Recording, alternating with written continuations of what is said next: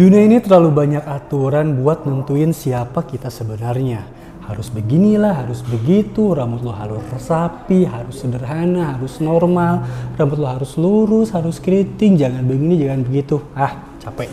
Dunia emang kayak panggung drama ya, yang penuh aturan. Kadang sekali ngerasa pengen keluar aja gitu dari semua ekspektasi-ekspektasi sosial dan juga aturan-aturan yang batasin hidup kita ini pengen banget jadi diri sendiri tapi takut dijudge sama orang lain. Nah, kabar baiknya di Jepang itu ada satu gerakan di mana semua orang bisa bebas mengekspresikan diri dengan gaya rambut ataupun dengan warna rambut dan dengan bentuk yang itu aneh banget kayak ngelawan gravitasi gitu. Dan itu bukan cuma fashion tapi itu adalah pemberontakan dari normalisasi standar gaya rambut ataupun pada lifestyle pada umumnya gue akan bawa kalian lebih dalam ke dunia visual kei. Tepat di mana rambut dan penampilan gak cuma jadi hiasan, tapi juga cara buat ngungkapin hati dan pikiran.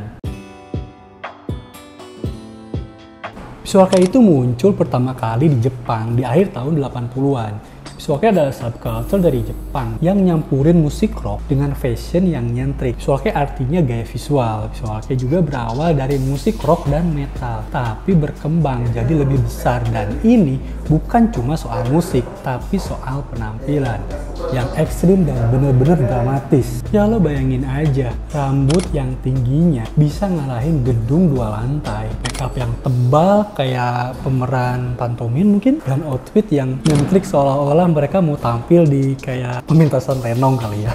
Enggak sih, bercanda. Visual kayak bilang kalau lupakan aturan standar. Ini adalah seni di mana lo sendiri adalah kanvasnya. Rambut tinggi, warna-warni, dan kostum yang hampir seperti karakter anime. Itu terjadi saat band-band rock Jepang kayak X Japan mulai gak mau ikutan aturan pasar musik mainstream pada umumnya. Mereka bilang musik gue itu keren, tapi penampilan gue harus lebih keren dong. Ya, lo bayangin aja sih di Jepang yang serba seragam dan tertib tiba-tiba muncul orang-orang dengan rambut kayak singa. Itu statement banget sih.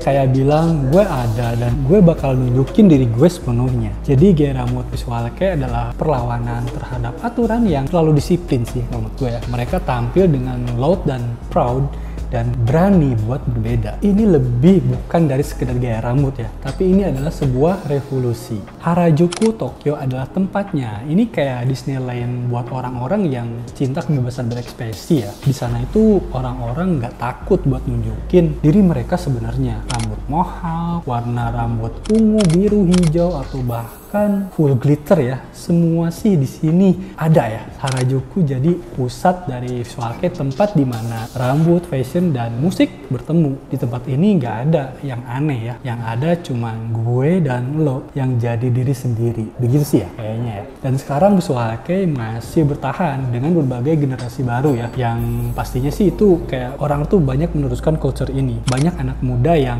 masih menggunakan gaya visual kayak ini ya. Mau event cosplay ataupun festival festival-festival musik ya, di seluruh dunia mungkin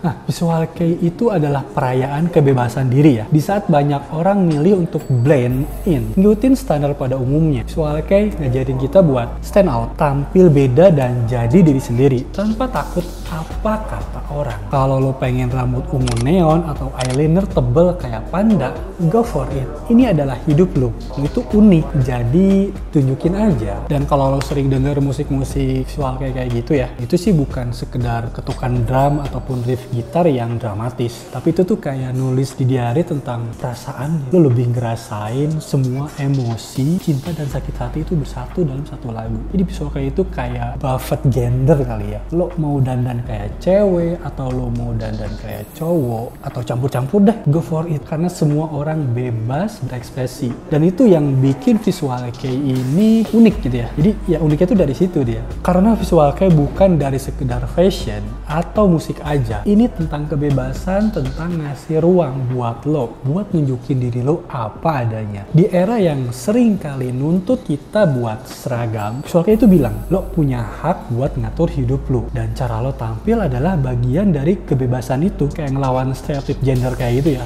Cowok-cowok pakai make up mungkin pakai dress yang elegan dan rambut yang mencolok bukan jadi masalah lagi sebenarnya. Karena visual kei itu ngajarin bahwa ekspresi diri itu jauh lebih penting daripada aturan-aturan yang dibuat oleh orang-orang lain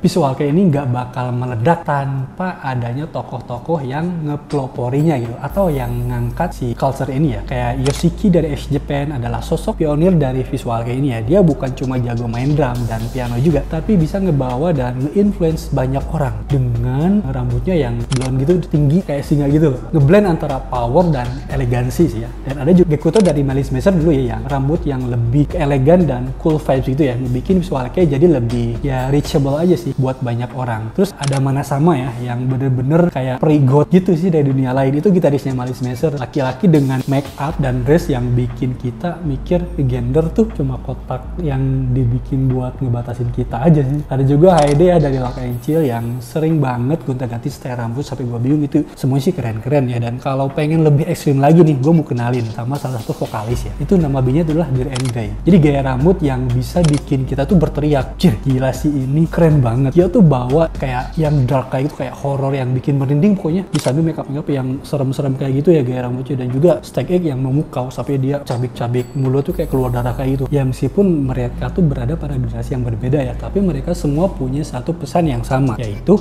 ekspresi diri nggak ada batasnya. Dan style itu tentang keberanian lo buat jadi diri sendiri. Jadi visual kayak itu ngajarin kita satu hal penting. Bahwa jadi diri sendiri itu nggak pernah salah kok. Meskipun artinya lo harus harus jadi berbeda. Jadi visual kayak itu bukan cuma soal musik atau fashion.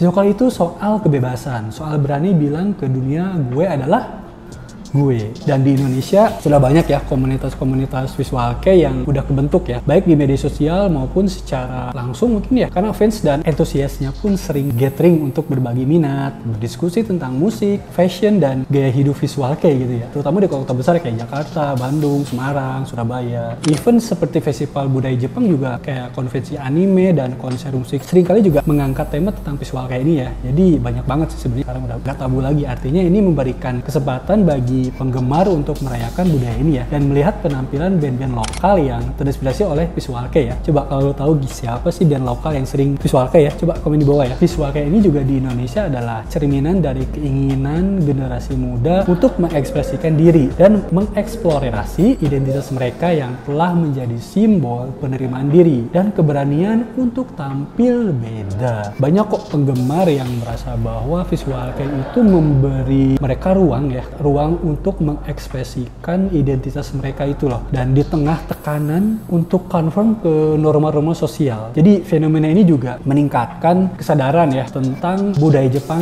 di Indonesia khususnya ya. Dan mereka menginspirasi generasi muda untuk lebih mengenal dan mungkin ya menghargai juga budaya yang berbeda ya. Dengan adanya musik, fashion dan juga komunitas yang mendukung dari visual ini ya. Visual kayak juga telah menjadi bagian penting dari subculture di Indonesia jadi kegiatan-kegiatan yang melibatkan visual kei baik di dunia maya maupun nyata terus berkembang dan menariknya lagi lebih banyak orang untuk ikut mungkin ya gaya-gayaan visual kayak kayak gitu ya. Nah kalau kalian suka video ini jangan lupa like ya dan subscribe juga dan share mungkin ke teman-teman kalian ya. Dan oh ya ini gue pengen denger juga sih cerita dari kalian ya. Kalau lo punya kesempatan nih kesempatan buat berekspresi tanpa batas kira-kira gaya rambut apa yang bakal lo pilih ya? Mungkin mau bikin visual kayak juga atau apa itu? Coba kamu komen di bawah ya. Dan ingat rambut lo tuh bagian dari siapa diri lo. Jangan takut buat beda ya. Karena dunia ini udah penuh sama orang-orang yang B aja gitu.